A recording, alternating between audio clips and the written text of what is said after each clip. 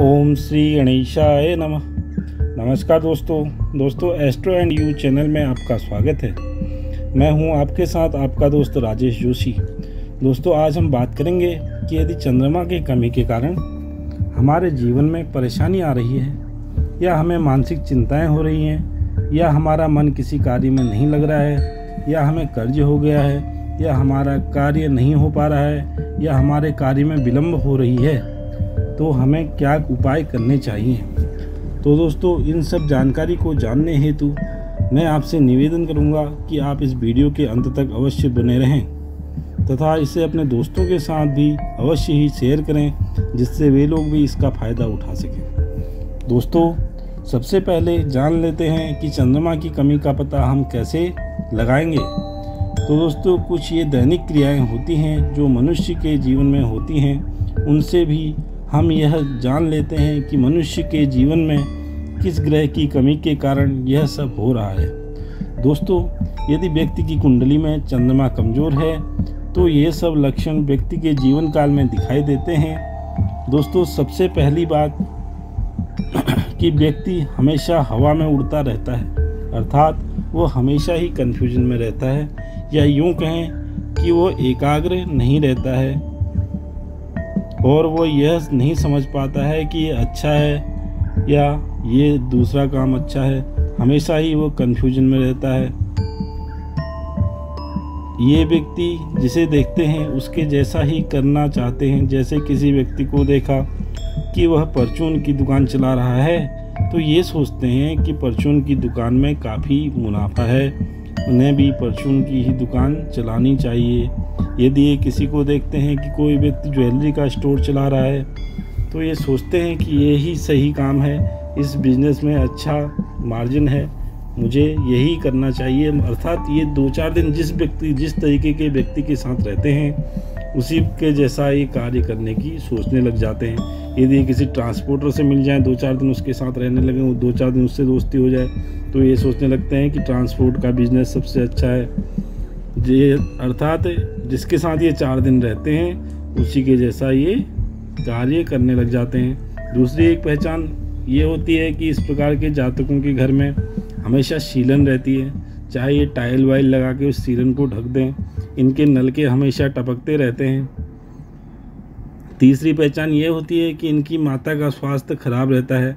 इस प्रकार के जातक जो होते हैं, वो पैसा खर्च करते हैं, बिना कुछ सोचे समझे, बिना किसी बात को ध्यान में रखते हुए ये पैसे को खर्च करते हैं।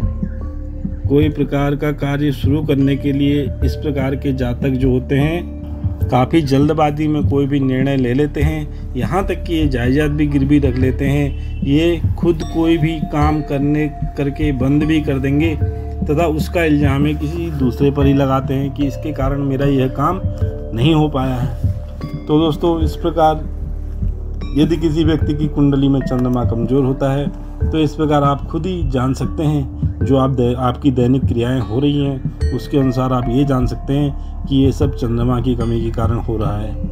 तो दोस्तों, अब देखते हैं आगे, यदि चंद्रमा ही कुंडली में बिगड़ जाता है तो सब बेकार हो जाता है। मगर कुछ आसान उपाय हैं दोस्तों, जिनको करने से आप अवश्य ही इस कष्ट से मुक्त हो पाएँगे और आपका चंद्रमा भी अपनी उचित स्थिति में आ जाएगा।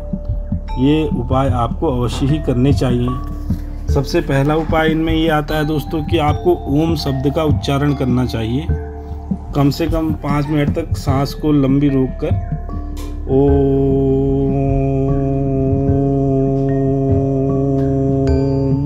इस प्रकार से आपको कम से कम पाँच मिनट तक ये रोज़ करना चाहिए। तथा गायत्री मंत्र का यथासंभव आपको जप करना चाहिए।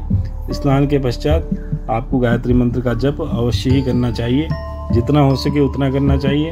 आप पूजा के पश्चात भी जब भी आप ऑफ़िस के लिए तैयार हो रहे हों तिल ऑफ़िस जाने तक आप यथासंभव जपते रहें। तथा तीसरा ये ये उपाय है कि आप वृद्धाश्रम में जाकर वृद्ध माताओं को दान करें, विधवाओं को कुछ दान करें तथा उनका आशीर्वाद आपको लेना चाहिए। चौथा ये है कि आप शनि मंदिर में हमेशा दूध का दान करते रहें। इससे आपको चंद्रमा जन्य परेशानियों से जल्द ही छुटकारा मिलेगा। किसी भी काम को बिना सोचे समझे आपको नहीं करना चाहिए। शनि से संबंधित व्यवसाय आपको नहीं करने चाहिए, जैसे लोहे का, कोयले का, जो भी शनि से संबंधित है, कंस्ट्रक्शन का कोई काम है ये सब काम आपको नहीं करने चाहिए।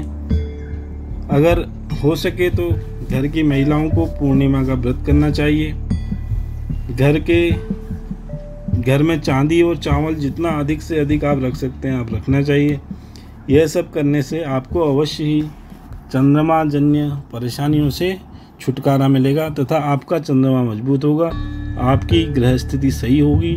आप जो कर्ज आपको हो रखा है, वो भी धीरे धीरे समाप्त होने लगेगा।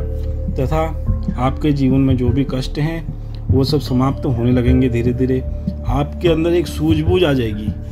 जैसे आपको पहले सूझबूझ नहीं आ रही है कि ये काम करूँ तो ये अच्छा है, ये अच्छा है, ये वो कर रहा है। इस तरीके की जो भी परेशानी थी, वो धीरे धीरे आपकी सही होने लग जाएगी। आप हर काम को सोच समझ कर ही करने लग जाएँगे। जल्दबाजी में आप नहीं करेंगे।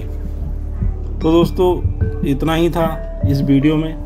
आगे हमारी आगामी वीडियोज़ के नोटिफिकेशन जल्द से जल्द पाने हेतु आप हमारे चैनल को अवश्य सब्सक्राइब कर लें।